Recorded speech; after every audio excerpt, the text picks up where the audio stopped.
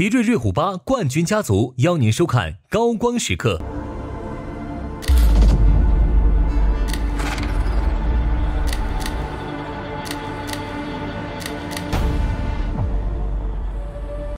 同样的酒店房间，更便宜的价格，不怕比价的同城旅行邀您收看《三体》，与热爱共呼吸的新康泰克邀您观看《三体》。荣耀八十系列一点六亿像素超清影像，邀您收看《三体》。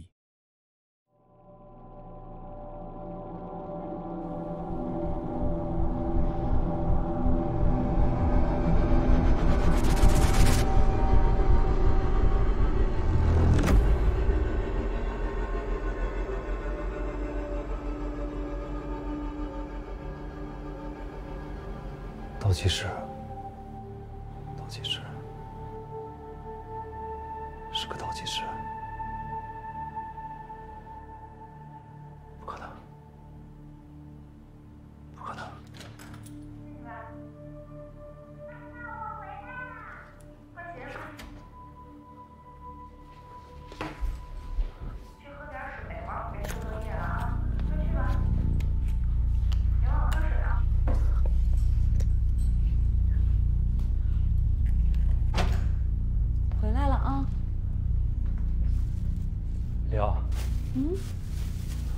拍点照片。你不不让我用你相机吗？先别忙活这些了，哎，拿相机帮我拍点照片，随便拍什么都行。怎么玩的？摁不动啊，这个。过一下圈，按这儿。对，这样啊，拍完之后再过一下，你来按。我给你拍。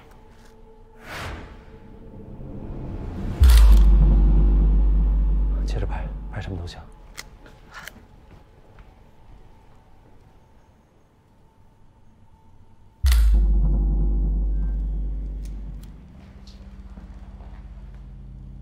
豆豆，来妈给你拍照片啊！别拍女儿！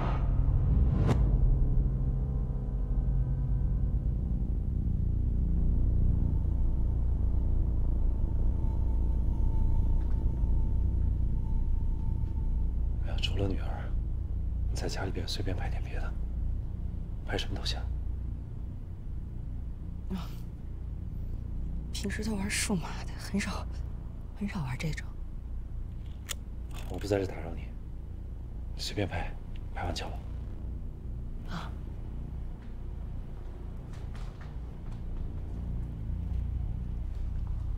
胶卷都拍完吗？对。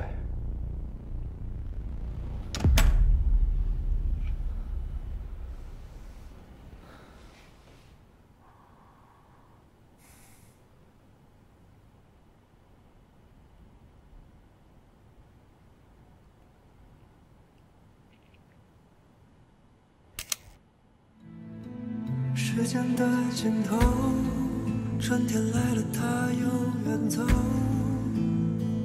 何须再停留？何须再停留？时间的尽头，春天来了，它又远走。谎言说不出口，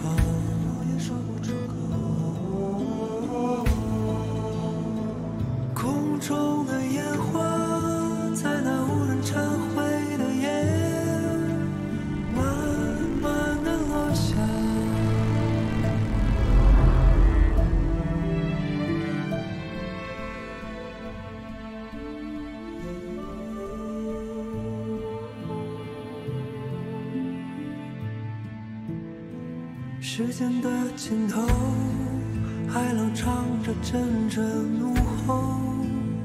谁倾起了所有？谁倾起了所有？最初的最后，你问我什么是自由？谁失去过拥有？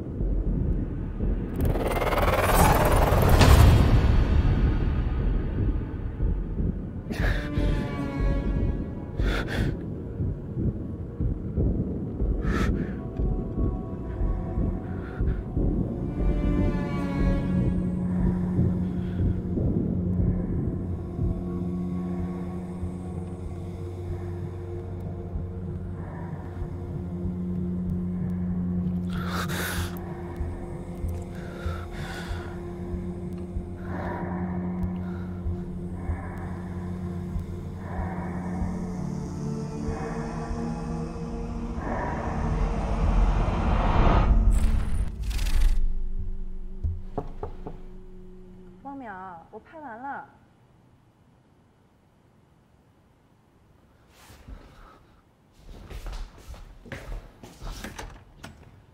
拍完了。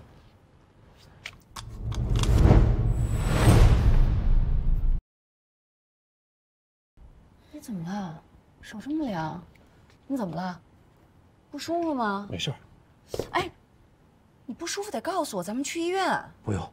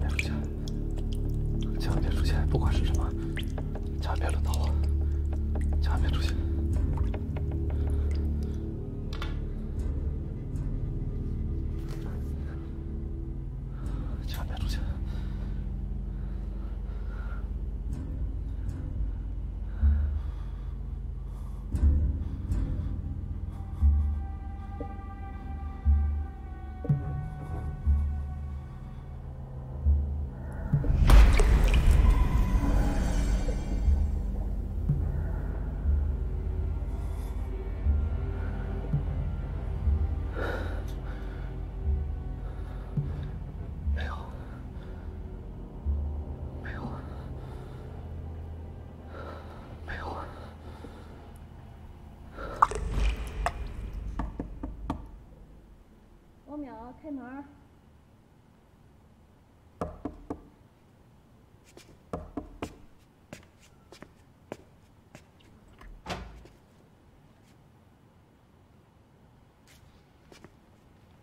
我照片拍怎么样啊？还挺好的。那说明我还挺有天赋嘛。你给我说你到底怎么了？刚才出去脸色就不对，你还出这么多汗。啊？屋里不是没开空调吗？又关着门，可能是闷的。开门透会儿气就好了，没事。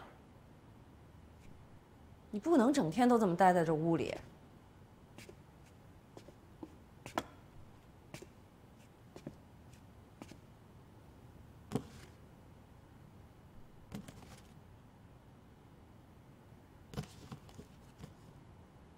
汪淼，你这照片怎么回事？上面都有数字啊！你别碰那照片。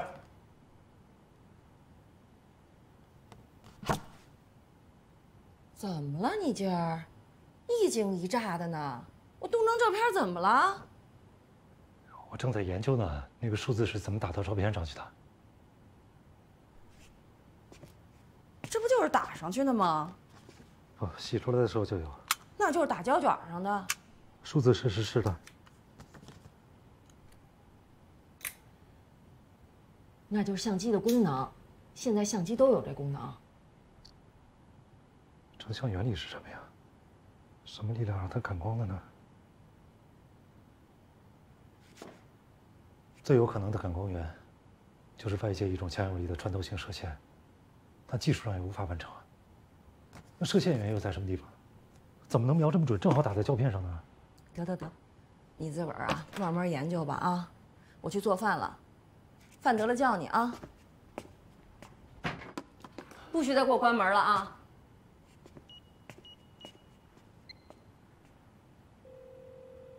喂，吴教授，哦，小汪啊，有个关于射线员的问题，我想请教您。不仅精确分辨背景，还实时读秒投射，你是在跟我开玩笑啊？所以您的意思是，没有这个可能？是，你说的力量，除非是超自然的，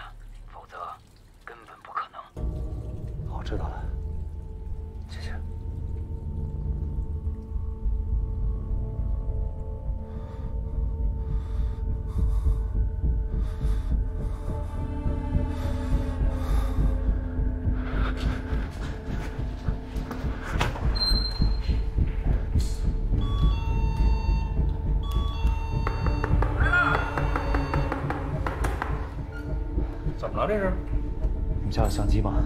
一下。我不要数码的，要胶片那种。不是，你大摄影家，你朝我借相机？你那两多都坏了？那我这儿只有数码。数码也行，借我用一下。你稍等一下。还有啊，是你不说话，你脸色那么难看。这个我瞎拍了几张，删了就行。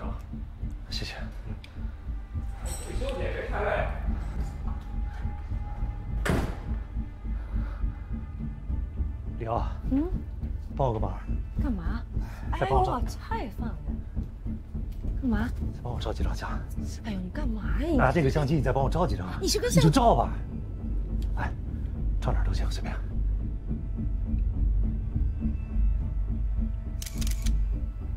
再照一张，行了吧再？照一张，随便照一张，照一张。豆豆，豆豆，不是，来，帮爸爸照两张照片好吗？咱们照这儿，照那个花儿，照门这边，来照一张电视，照一张电视，这边照一张，这个小人儿，来照一张。好，行了，等一下爸爸啊，拿相机出来跟你一起照好吗？不是王淼，王淼，我知道你最近工作压力有点大，你有什么压力你可以跟我。我跟豆豆照相玩呢，没事儿。来，豆豆，照这个毛绒玩具。你一二三。来，豆豆，爸爸给你换相机，我们还拍这个。一二三。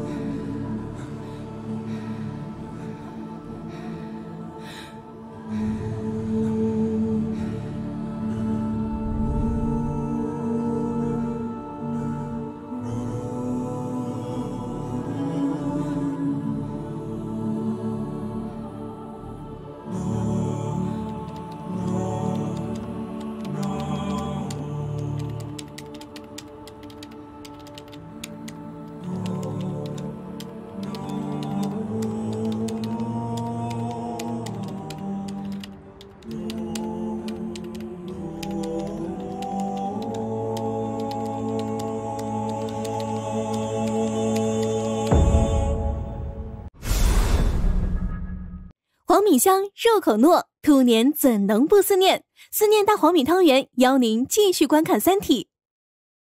肺属金，肾属水，补肾益肺金水宝，金水宝制药邀您继续观看《三体》。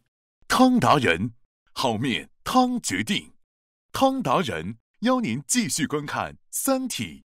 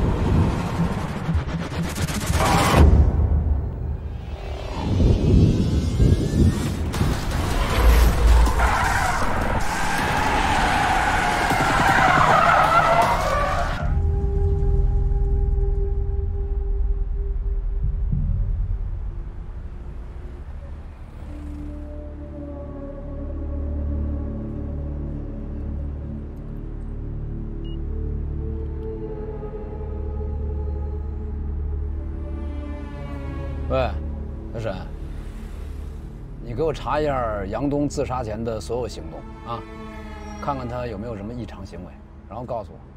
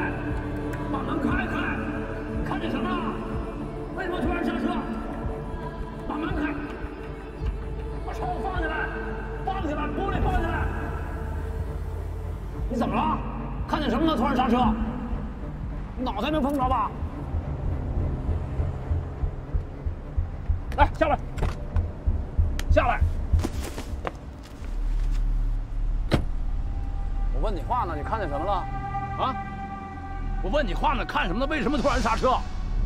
说话，说话！你看见什么了？突然刹车？哎，看见什么了？突然刹车？问你呢，说呀，说话！看我。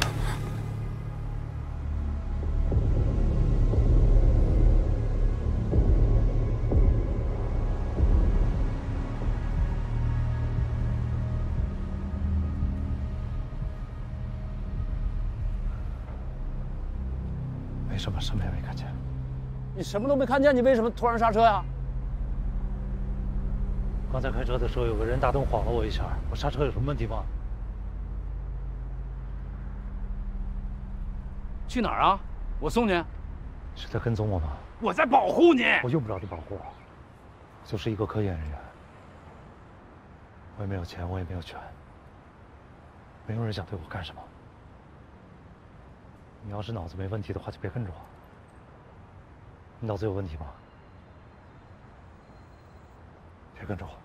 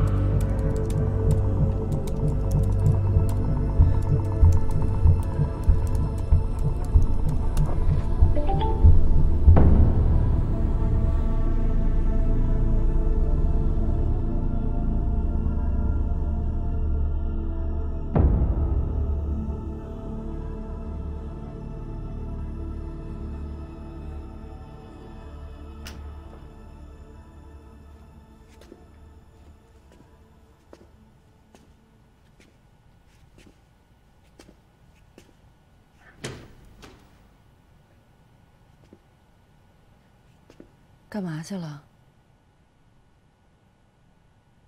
去哪儿了？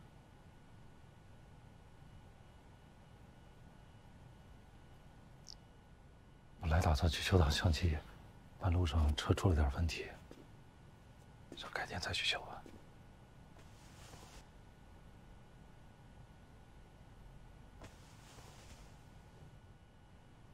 你到底怎么了？眼睛不舒服。眼睛不舒服你还开车？眼睛前面有东西。我给你看看。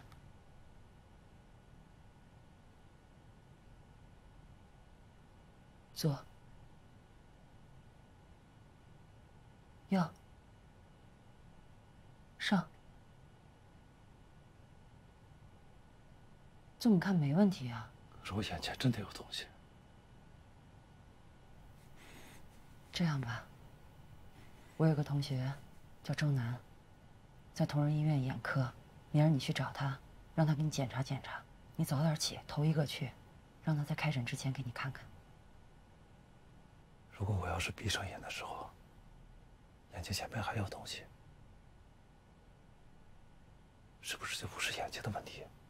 我是医生，要逐个排查病因，先排查眼科，再排查神经科，总能找着原因的。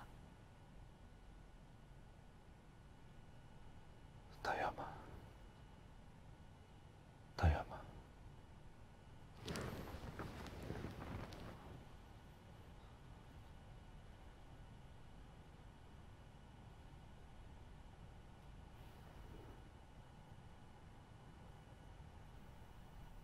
睡觉。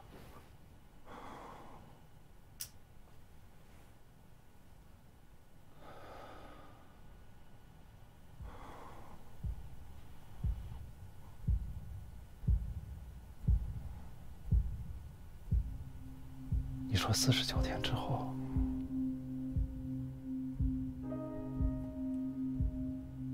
我们会在哪儿？在哪儿？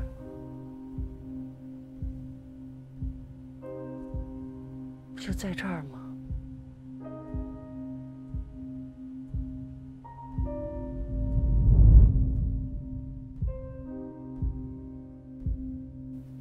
专业的说法叫异物感，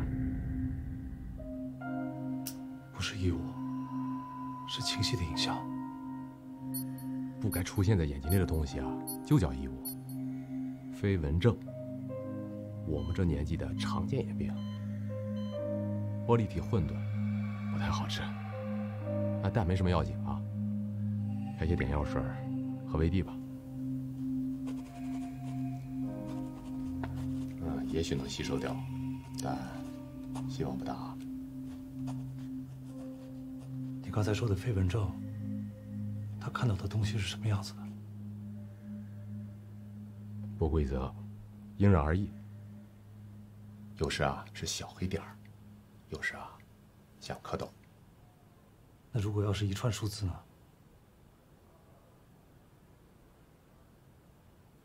三点一四一五九二六，没跟你开玩笑，就是一串数字，在我视野的正中间。过度劳累。上次同学聚会啊，李瑶和我提起你了，说你啊，现在的工作压力太大了，咱们这个年纪了，得注意了，这健康可透支不起啊。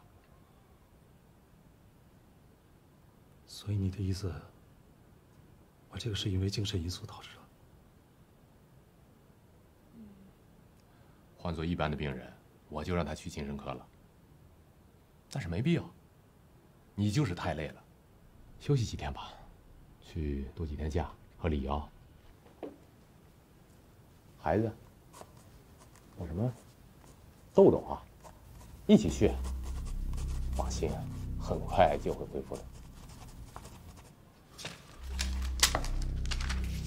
就是这样一个倒计时，就在我的眼前，一秒一秒分毫不差的走着。这也是因为精神因素的影响吗？想知道精神因素对视力影响到什么程度吗？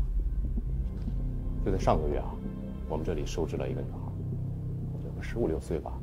她在教室里突然间什么都看不见了，完全失明。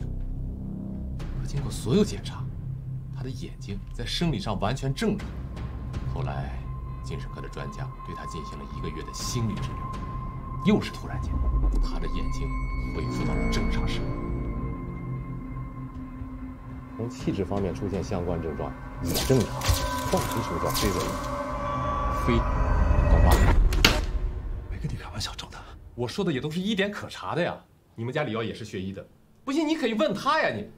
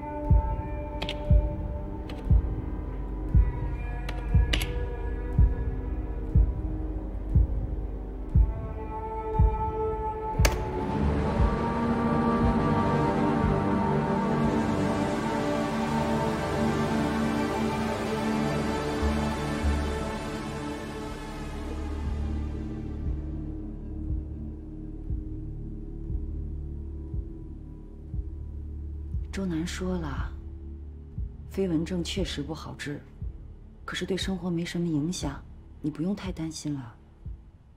我这个不是飞蚊症。人家说了，你说那种情况根本不存在。就是因为不存在，所以我心里才会害怕。它不存在有什么可怕的呀？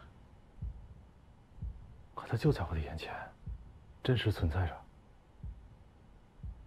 你的意思是，你遇到鬼了啊，王教授？李浩，如果我现在跟你说，在我们人类之外，还有另外一种高等文明存在着，我们就把它叫做农场主。在农场主的眼里边，所有的人类就是农场里边的一群伙计。我是一个伙计科学家，你是一个伙计医生，你会怎么想？那你说的那个高等文明，就热衷于往你眼睛里打倒计时。那倒计时的终点，是不是那高等文明的感恩节啊？你这个想法很有建设性。可为什么就出现在我的眼里？你为什么看不见呢？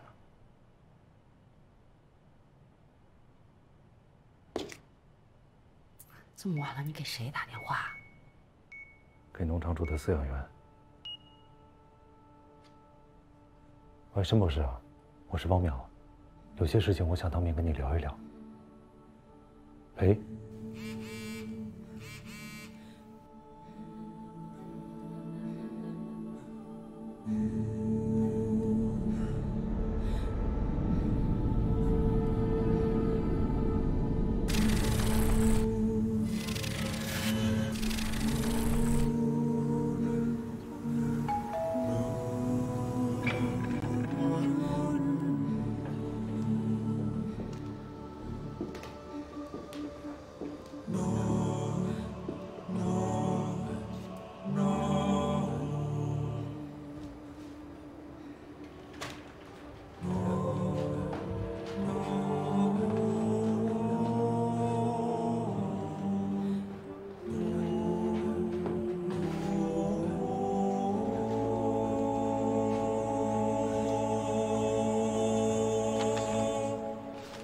这台是 RX 八六二零，我们超导研究中心也有一台，要几百万。我是来找申玉飞的。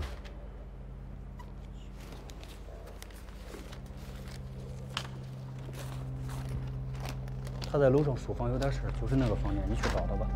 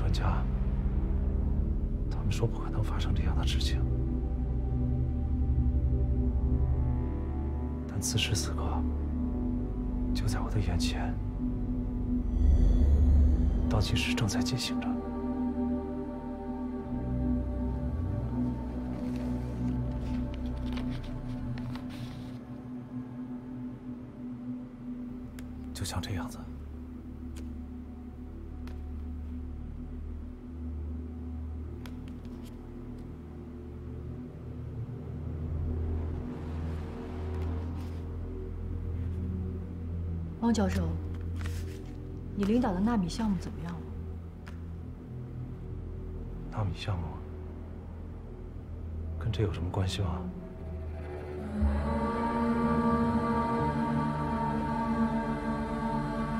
这个跟纳米项目完全是两个不同的领域。把研究停下来。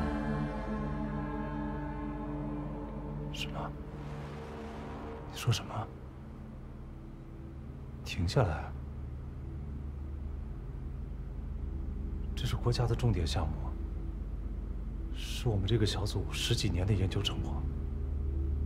你让我把它停下来，总要给我一个原因吧？停下来试试。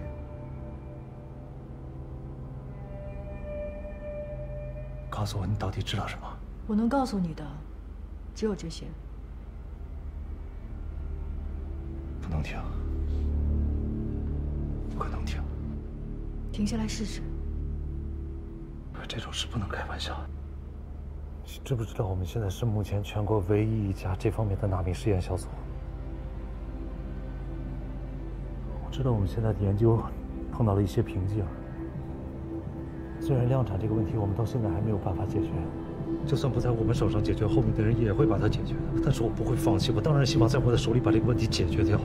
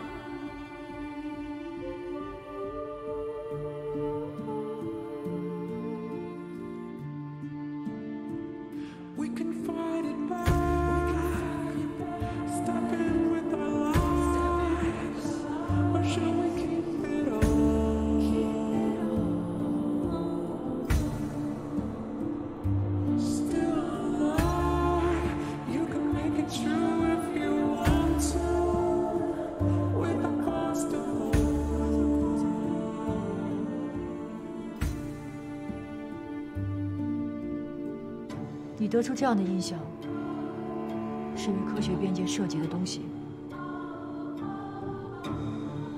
比你想象的更基础